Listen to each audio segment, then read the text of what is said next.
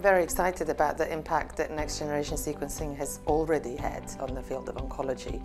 It's allowed us insights into molecular landscapes of many different tumour types and as a result of that many treatments have been developed and are now standard of care for my patients.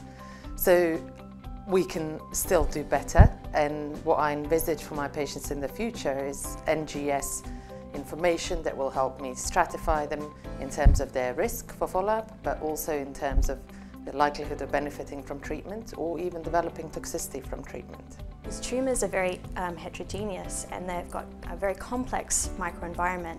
So single RNA sequencing enables us to look at each cell on an individual level and a completely unbiased level.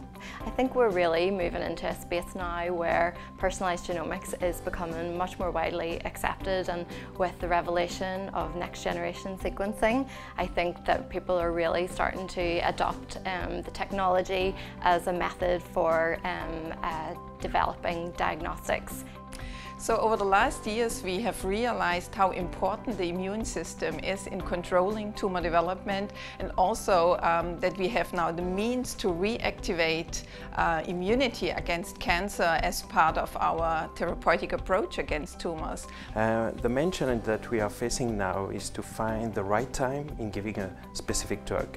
So uh, chronobiology is uh, a way to go and uh, sequencing may improve understanding of circadian rhythm and how its impact on the efficacy of specific drugs.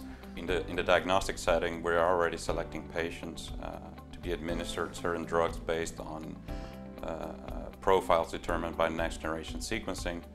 And we're also identifying hereditary disorders through next generation sequencing and you really see that the latest developments will also support the development of, of novel therapies and to find biomarkers.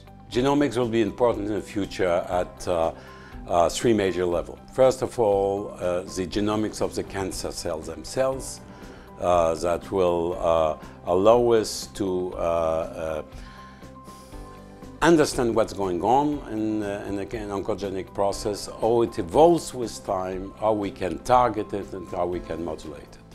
Secondly, the genomics of the host of the patient himself, which is today still mostly a black box. And finally, it will allow us to unveil the problem of heterogeneity in the cancer itself during between primary and metastatic sites within each site uh, in this integration of these various parameters in which genomics is only one part but is the governing part, obviously, of what is going on, uh, will be an essential part of the development in the future.